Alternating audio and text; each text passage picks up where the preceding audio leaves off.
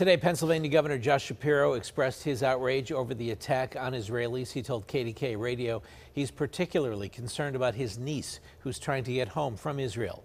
Shapiro says he and Senator Bob Casey are working to help many other Pennsylvanians trying to get out of Israel. And here's what he says about people back here demonstrating in support of Hamas. I think that this is a moment where we all need to come together and recognize what is so clearly wrong the acts of Hamas and what is right.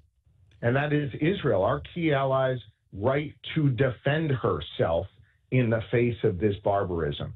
There, this is not a moment for moral equivalency.